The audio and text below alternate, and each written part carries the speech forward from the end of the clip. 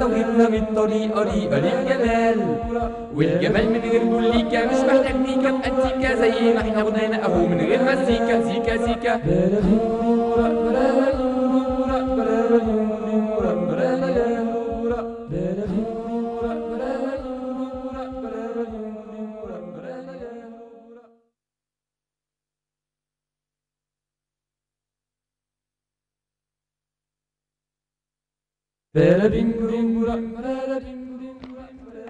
ماشي. بسم الله الرحمن الرحيم. أهلا بكم معانا في قناة الصحة والجمال.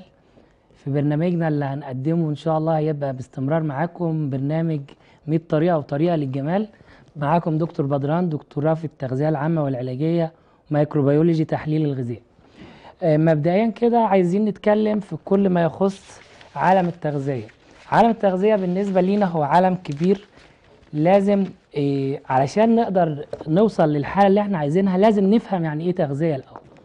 هنبدأ آه هبدأ معاكم الأول بمفهومنا اللي هو هنعرف يعني إيه تغذية. التغذية عندنا هي أنواع.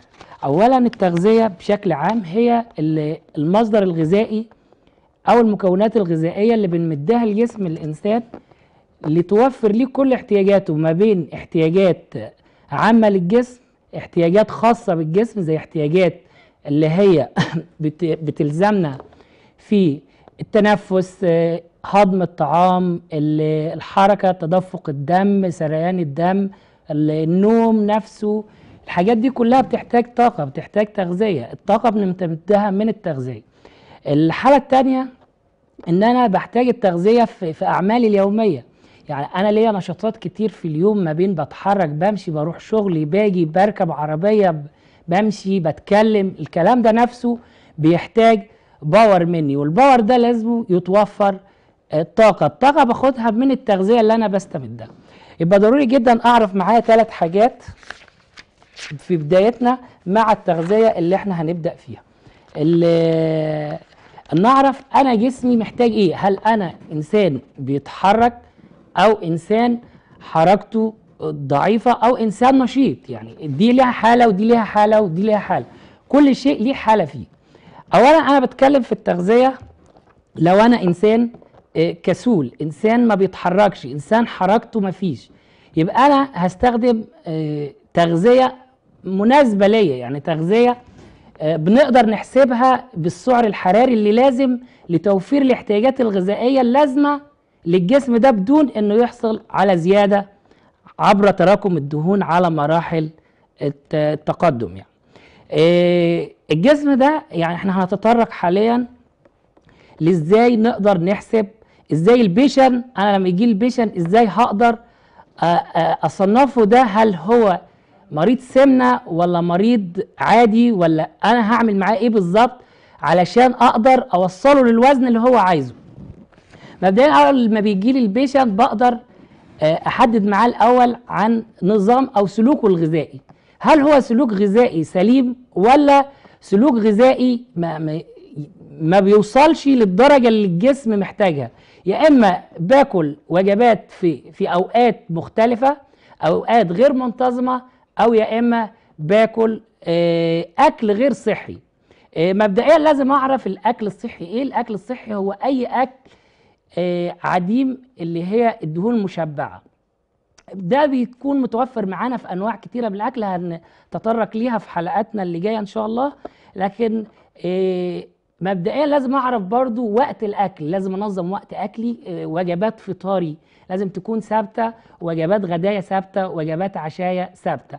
الميعاد الثابت مهم جدا يعني أنا بفطر فطرت الساعة 7 الصبح 7 صباحا يبقى لازم أوحد نظام أكلي الساعة 7 صباحا اديت 2 ل 3 ظهرا يبقى برضو اوحد نظام أكلي 2 ل 3 ظهرا آه، وجبة العشاء ما تتعداش الساعة 8 حاجة تانية مهمة جدا لازم أفرق ما بين أنا هل البيشنت ده زايد وزن ولا زايد كتله دهون يعني أنا في نوعين من التخسيس لازم نتطرق ليهم اللي هو تخسيس الوزن وتخسيس الكتلة. تخسيس الوزن ما بيهمناش قوي عالم كتير بيشغلها وزن جسمها. لكن بنحكي فيها كتير والعالم في أوروبا كله عامل ثورة حاليا في تخسيس الكتله ما عادش حد بيبص يعني إيه وزني. أنا مبدئيا يعني مثال بسيط أنا ما بروحش أشتري لبسي بال... بال... بالكيلو. أروح أشتريه بالمقاس. ما هو لو الكيلو معبر عن شكلنا كان تروحي تشتري لبسك تقول أنا عايز أنا مثلا 80 كيلو. خلاص بيديكي لبس 80 كيلو ونمشي.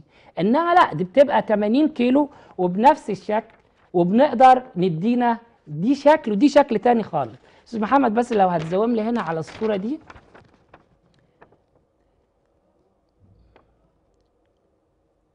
الصورة دي واضحة معانا على الصورة. إحنا بنعرض جسمين نفس وزن الجسم. دي 70 كيلو ودي 70 كيلو. لكن كتلة جس... كتلة الدهون في الجسم ده غير الجسم ده نهائي.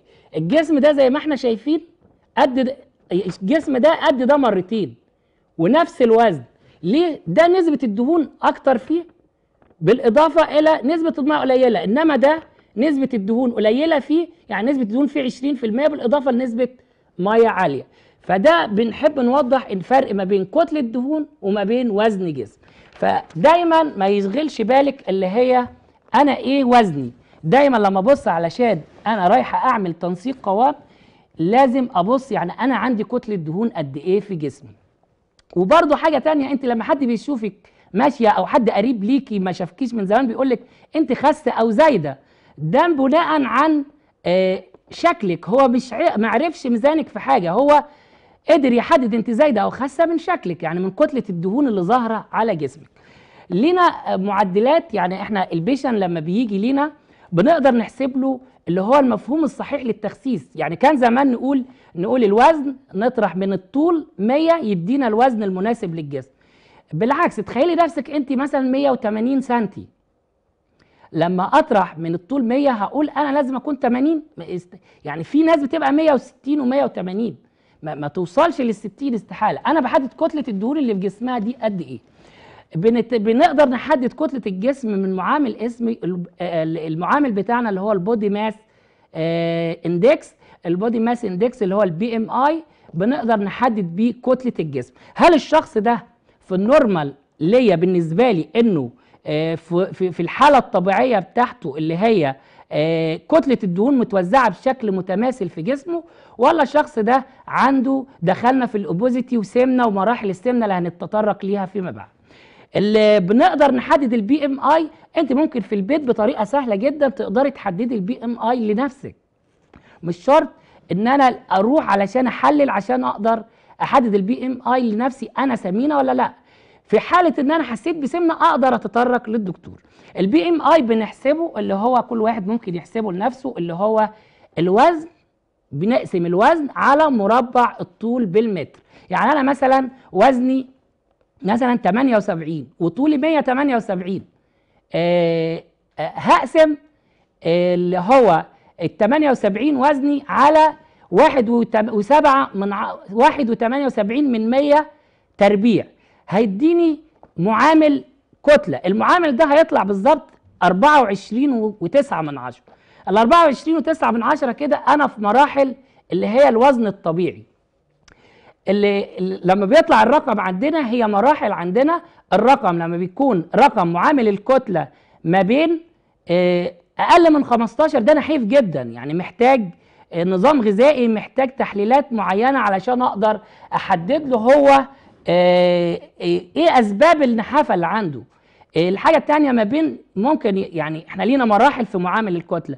معامل الكتلة لو طلع ما بين 15 ل 18 فالشخص ده هو نحيف لكن معقول يعني مش نحيف جدا لكن يلزمه نظام غذائي يوصل بيه للمراحل الآمنة من الغذاء اللي هي توصله من معدل من 18 ل 25 وده الوزن الطبيعي للشخص العادي. طب أنا لو لقيت بعد ما حسبت معامل الكتلة زي ما قلنا اللي هو الوزن على مربع الطول بالمتر لقيت وزن الجسم لقيت معامل الكتلة دي اللي هو ال BMI لقيته طالع عندي من 25 ل 30 فأنا دخلت في وزن عالي لكن لسه ما دخلتش في في السمنة اللي هي ال obesity. يعني أنا دلوقتي في وزن عالي. طيب دلوقتي أنا لو تطرقت إن أنا معامل واحد حسبنا له وزن معامل الكتلة بتاعته طلع ما فوق ال 30 أبدأ أقول له كده أنت في خطر. فوق ال 30 دخلنا في مراحل obesity. وال obesity آه يعني من 30 ل 35 دي low obesity يعني مرحلة من مراحل ال obesity نفسها. اللي هي السمنة. يعني سمنة منخفضة. فلازم أقول له أنت لازم تعمل حد تعمل control على نفسك عشان ترجع بمعامل الكتلة دي للمراحل الطبيعية بتاعتك. طيب اللي, اللي وصلنا حد تاني ما بين 35 ل 40 ده في ال obesity نفسه. يعني دي سمنة سمنة بقى سمنة عالية. لكن في عندنا مراحل المعامل الكتلة لما يعدي ال 40 بيبقى من 40 وما فوق ده سمنة high obesity أو سمنة مفرطة. ماشي؟ ده بالنسبة لمعامل كتلة الجسم. أول ما ال patient بيجي لي لازم أعمل له الحاجات دي. آه، أحدد له كمان كم سعر حراري هو محتاجه في اليوم عشان أقدر أحدد له النظام الغذائي اللي أنا أقدر أعطيه له ويمشي عليه وي- وي- ويحس بالنتيجة اللي هي المرجوة إنه يخس أو يثبت وزنه أو يزيد على حسب حالته هل نحافة أو تثبيت أو سمنة. هبدا احسب له السعرات الحرارية وإحنا في الطبيعي آه، متعارف عليه السعر الحراري بناخد الكيلو جرام في وزن الجسم بيحتاج واحد calories أي واحد سعر حراري في الساعة الواحدة من اليوم. يعني أنا لو واحد مثلا معدل معدل وزنه 60 كيلو جرام هناخد هيحتاج 60 سعر حراري أو 60 calories لكل ساعة في ال- خلال اليوم يعني هيحتاج 60 calories في الساعة في 24 ساعة خلال اليوم بيطلع لي معدل ال calories اللي هو محتاجها. ده اللي هو بحسبه واحد سعر حراري للكيلو جرام آه، لكل كيلو جرام من الوزن في واحد ساعة في اليوم ده بحسبه اللي هو الجسم الخامل يعني الجسم اللي هو احتياجاته إنه يقوم يصلي يقوم يتكلم يشرب يهضم طعام يتنفس دي كلها احتياجات أساسية للمعيشة. بيحتاج يعني لما هنبص هيحتاج آه، لما نحسب ال 60 في في 24 يعني عاملين تقريبا آه، 1480 أو 1500 calories في اليوم. أبدأ أشوف أنا باخد وجبات ال- ال- الشخص اللي هو 60 ده آه، محتاج في اليوم لاحتياجاته اليومية 1500 calories أو سعر حراري. أبدأ أبص أنا لازم أديله في اليوم ده أديله السعرات الحرارية لو أنا عايزه يثبت على ال 60 كيلو لا يتقدم ولا يزيد ولا يتأخر. راح أحسب له زي ما قلت لكم اللي هي سعراته الحرارية ال 1500 كالوريز وأبدأ أقول له والله أنت كده شخص آه، بالنسبة لطولك مثلا لو مناسب أنت كده تاكل في وجبتك الغذائية 1500 calories يبقى هنحافظ على وزننا على مدى السنوات القادمة إن شاء الله. طب الشخص ده لو عايز يزيد أو عايز يخس مثلا هو 140 سنتي مثلا وعايز يخس له 10 كيلو ما هو أنا هقول له لازم تاخد آه، سعرات حرارية في اليوم مناسبة ليك يعني إحنا لو قللنا آه، كل 7000 يعني إحنا لو قللنا في اليوم 500 سعر حراري 500 سعر حراري.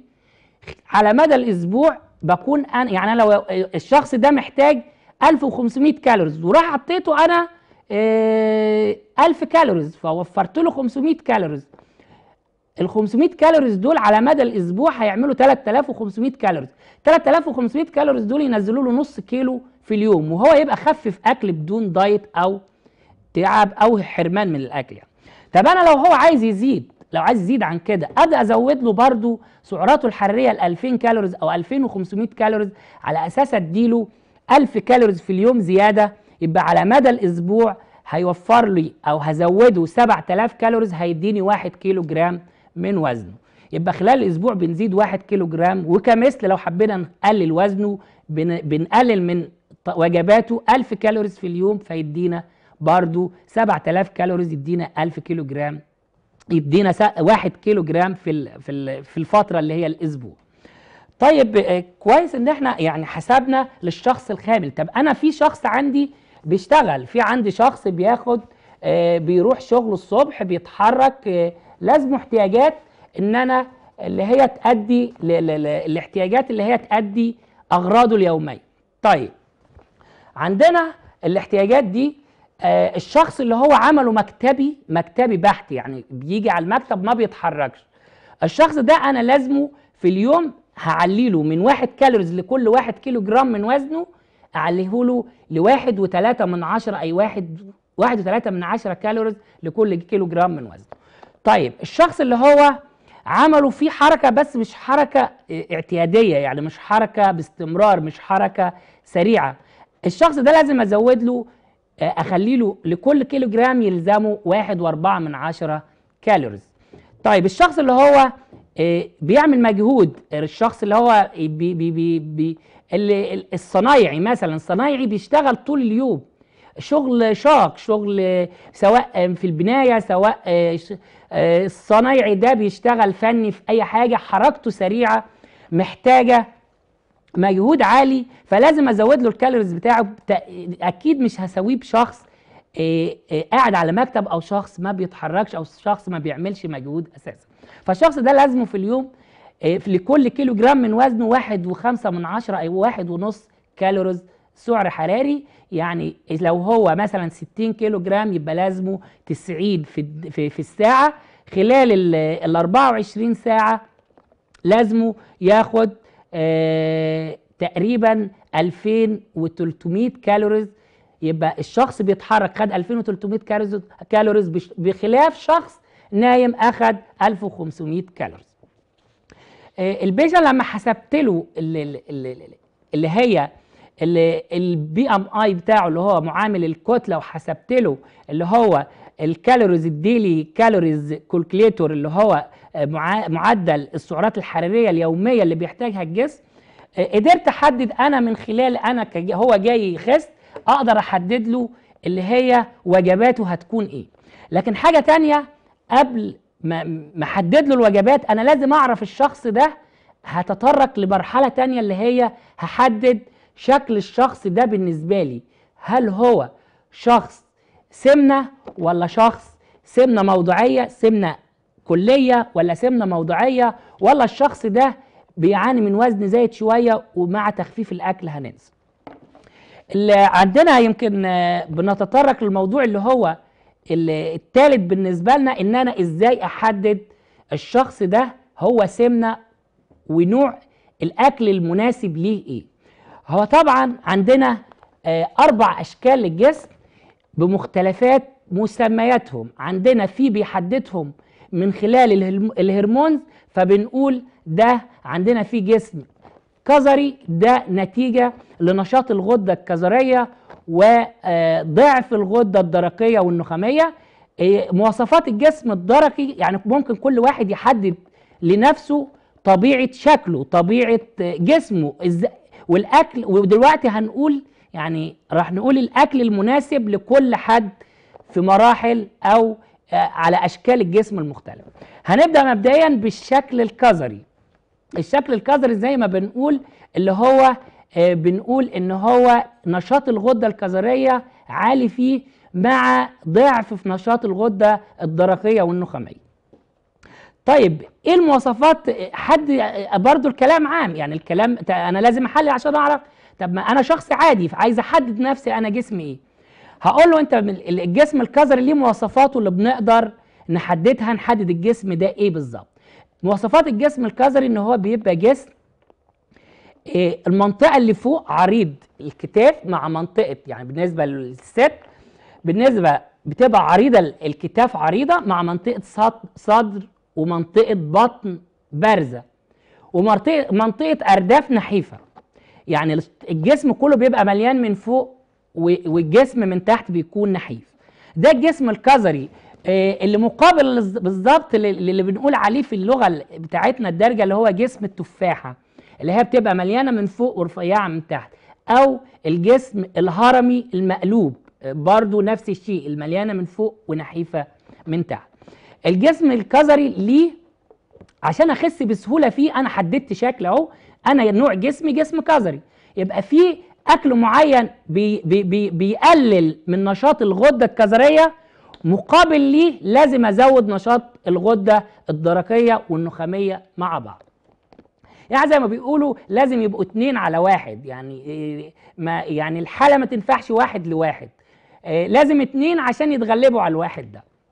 وفي حالة إذا اتغلبوا عليه هيرجع جسمنا للطبيعي وينزل بسهولة جدا خالص. ده بالنسبة للجسم الكظري. إحنا بنشرح حالات الجسم وهنرجع ناخد كل جسم والأكل المناسب ليه. الجسم اللي هنرجع هندخل بعد كده اللي هو الجسم التناسلي وده اللي هو بنقدر نقول عليه نشاط الغدة التناسلية زايد مع ضعف في نشاط الغدة الدرقية والنخامية على السوائل. طيب بنقدر نحدد الجسم ده إزاي؟ طيب أنا جسمي أهو أنا قدامي جالي البيشن هقول له والله أنت جسمك تناسلي ولا كظري إزاي آه، بشوف الجسم مواصفات الجسم التناسلي إيه؟ الجسم التناسلي اللي هو الجسم الكمثري اللي هو شكل الكمثرى اللي هو بيبقى آه، مليء من مناطق الأرداف ونحيف من منطقة من المناطق اللي فوق. آه، بنقول عليه برضو اللي هو شكل الهرم الهرم العادي بتاعنا. بنقول عليه ده الشكل التناسلي برضو. طبعا الشكل التناسلي ليه مواصفاته وليه نظامه الغذائي اللي نقدر نوصل له على أساس إن إحنا نقلل من نشاط الغدة التناسلية وفي نفس الوقت نزود من نشاط الغدة الدرقية والنخامية. بنتطرق بعد كده لرابع لثالث نوع من الجسم وهو الجسم الدرقي. الجسم الدرقي آه، من كلامنا إن هو الدرقي نشاط للغدة الدرقية مع يقابله ضعف في الغدة التناسلية الغدة الكظرية والغدة النخامية. الجسم التركي الدرقي جسم عندنا بيكون آه، يمكن من أفضل الأجسام اللي بتنزل معانا بسرعة. بالنسبة آه، لطبيعة آه، مواصفاته إن في توازن ما بين المنطقة العليا مع توازن ما بين منطقة الأرداف يعني توازن ما بين الأكتاف مع توازن ما بين الأرداف بيحقق لي شكل دركي أو شكل الساعة الرملية اللي إحنا بنقول عليه. اللي هو المنطقة عريضة من فوق مع منطقة أرداف عريضة مع خصر نحيف جدا. ماشي؟ وده مع أقل تغيير فيه بيشكل شكل الجسم. آه، برضو آه، ليه أكله المعين ليه مواصفاته المعينة على أساس آه، نقدر نقول الجسم ده محتاج إيه؟ هندي نقلل نشاط الغدة الدرقية ونزود من نشاط الغدة الكظرية والنخامية. الجسم اللي بعد كده وهو رابع جسم عندنا اللي هو الجسم النخامي. الجسم النخامي اللي هو بيكون الجسم مل- مليء بشكل عام. يعني ما أقدرش احدد هل الأكتاف لوحدها زايدة هل منطقة البريست اللي زايدة هل منطقة البطن اللي زايدة هل منطقة الأرداف اللي زايدة. هو بياخد زيادة عامة في الجسم. يعني بنقول عليه اللي هو الشكل المستطيلي. يعني مفيش تحديد للقوام اللي قدامي. اللي قريب برضو بن- بنحدده أكتر بشكل الموزة. شكل صباع الموز واخد اللي هو اسطواني الشكل بدون أي آه، تحديد للقوام اللي قدامي وده اقلهم آه، يعني ده ده بيستحبوه في أما في أماكن اللي هم عارضات الأزياء لكن إحنا ك ك ك كطبيعة الجسم يعني مش مستحب بالنسبة لأغلب ال- ال- الأفراد وبالنسبة للشعب العربي عامة مش مستحب الجسم. طيب إحنا شفنا الأربع حالات والأربع أجسام هنراجعهم مع بعض تاني اللي هي الجسم التناسلي اللي هو كمثري الشكل والجسم الكظري اللي هو آه، تفاح الشكل والجسم اللي هو الجسم الدرقي اللي هو الساعة الرملية. وفي حاجات كتير طلعت بشدات وحاجات تقول اللي يعني إيه بتحدد شكل الجسم على الساعة الرملية لكن دي كلها مفيش حاجة تحدد شكل جسمك غير بداية معين مع آه، رياضة معينة لكل منطقة من المناطق دي مع لو عندي مناطق سمنة موضعية لازم أعمل ليها تفتيت دهون للمناطق دي. إنما المشدات والحاجات اللي طالعة دي كلها حاجات آه، وهم فما بنقدرش نتطرق ليها في كلامنا. الحاجة التانية يبقى قلنا الجسم التناسلي الجسم الكظري الجسم الدرقي الجسم النخامي. الجسم التناسلي اللي هو الجسم ال- الكمثري الجسم الكظري اللي هو التفاحة الجسم الدرقي اللي هو الساعة الرملية الجسم النخامي اللي هو مستطيل الشكل أو على شكل صباع الموز. مهم جدا نعرف دول في, ذاكرتنا علشان لما نيجي نتكلم بعد كده عن كل مرحلة يبقى أنا عارف محدد حالتي إيه بالظبط. برضو حاجة تانية آه عايزك قبل ما نتطرق لكل نوعية غذاء مناسب لكل جسم آه ما تشغليش بالك بوزنك. دايما أشغل بالي بشكلي تناسق جسمي بكتل الدهون عندي. يعني حاجة إيه أنت جاية لي خليكي مني خالص يعني خليكي مني أقول لك وزنك إيه. أنت لازم تكوني محددة انت بتخسي ولا ما بتخسيش؟ خليكي مني انت بتيجي تتابعيني كاقول لك انت نزلت على الميزان ولا لا. أنا ما يفرقش معايا الميزان. انت من نفسك المفروض قبل ما تدخلي لي عشان تطلعي على الميزان تكوني عارفة نازلة ولا مش نازلة. ميزانك ثلاث حاجات لازم نستقر عليها الواحدة ميزانها في آه لبسها. أنا لقيت لبس بيوسع يبقى شيء أساسي أنا بنزل. ما هو مش لبسي حد جه وسعه وأنا نايمة مثلا. آه لقيت نفسي ارتاح. أكيد أنا نزلت لأن الدهون دي ضاغطة على الحجاب الحاجز ضاغط على الرئتين ضاغط ليا على النفس. بعمل صوت وأنا نايمة طالع سلم فيه نهجة دي كلها ارتحت منها. أكيد وزني نزل. الحاجة الثالثه أنا خلاص آه، وزني أنا خلاص آه، لبسي وسع آه، حركتي خفت الحاجة الثالثه حركتي بقت خفيفة بنقدر نحدد ان إحنا نزلنا. آه، بنقدر نعرض لكم آه، معلش وقت الحلقة محدود شوية فهن هنتكلم سريع كده وإن شاء الله على أمل إن إحنا نعرض لكم في حلقات تانية كل ما يخص المراحل اللي اتكلمنا فيها. آه، على السريع كده قبل ما أعرض لكم فيديو سريع بالنسبة لل- اللي هو تفتيت الموضوع أو التخسيس الموضعي للدهون هقدر أقول لكم أنا اللي هو هنتطرق لنوعين من الجسم اللي هو الجسم الكظري والجسم التناسلي.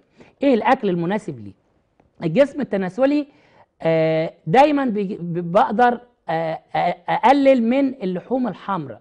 لازم أقلل من اللحوم الحمراء لأن اللحوم الحمراء عندي طيب اللي طب ثواني وهكون معاك ثواني. اللي- اللحمة الحمراء بتؤدي لنشاط الغدة التناسلية وبالتالي بيدي لزيادة الجسم من المنطقة اللي هي الأرداف. فأنا علشان أوصل لجسم متناسق وأنزل بسرعة لازم أقلل من اللحوم الحمراء والألبان كاملة الدسم. أزود في أكلي الحاجات اللي هي تحس الغدة الدرقية والنخامية اللي هي الكربوهيدرات. ما بين الكربوهيدرات ما حدش يفهمني إن هي نشويات بصفة عامة لأ الكربوهيدرات ده بيتقسم عندي حبوب كاملة وحبوب مطحونة. الحبوب الكاملة اللي هي زي البسلة والخضار وال وال والفاصوليا والبزله والخضار اللي بالنسبة اللي الحبوب المطحونة اللي هي اللي القمح اللي هي الردة اللي هي الشعير اللي هي الأرز البني. بالنسبة للغدة النخامية بقدر أزود من اللي هي عشان أزود نشاطها برضو هتناول وجبات فيها كافيين وفيها نسبة من الألبان قليلة الدسم. أوكي ماشي. ده بالنسبة اتطرقنا للجزء اللي هو الجسم التناسلي. هبدأ إن شاء الله في الحلقات الجاية إن شاء الله هنتطرق لبقية أنواع الجسم ومع توضيح أكتر ليكم لكن هعرض لكم فيديو يبين التخسيس الموضعي إزاي ممكن يكون على منطقة من المناطق دي. هنعرض فيديو وهنعرف عليه الحالات المتغيرة ليه. ماشي معاك اتفضل اعرض الفيديو. ده بالنسبة عندنا حالة سمنة حالة سمنة اوبوزيتي أو يعني دخل في السمنة بس لسه مش هاي اوبوزيتي بيجي لي بقدر أحدد له اولا مناطق الدهون المتكونة في جسمه على مراحل الجسم. بقدر أحدد أكتر من منطقة اللي أنا أشتغل عليها اللي هي قطر الجهاز اللي بيوضع عليه. زي ما إحنا شايفين الجهاز قدامنا ده جهاز آه، وحدة زلتك للتخسيس أو تج- تجميد الدهون دي بالتبريد أو التجميد يعني تحليل الدهون بالتجميد. بنقدر نستخدم الجهاز بنحطه على المنطقة اللي أنا حددتها بنستخدم آه، نص ساعة خلال كل شهر. تمام. ال ال زي ما شفنا الجهاز وعرضناه لحضراتكم وفي الحلقات القادمة إن شاء الله هندي تفاصيل أكتر عن الجهاز. آه، نشكركم آه، على حسن متابعتكم لينا والوقت الجميل اللي قضيناه معاكم. وتابعونا إن شاء الله في حلقات قادمة. ومن تقدم لتقدم وكل عام وأنتم بخير بالسنة الجديدة. والإخوة الاغباط بنقدر نقول لهم كل عام وأنتم بخير بسبب أعيادهم. وبنشكر قناة الصحة والجمال. ودايما معانا متألقين مع برنامج 100 طريقة وطريقة للجمال مع دكتور بدر.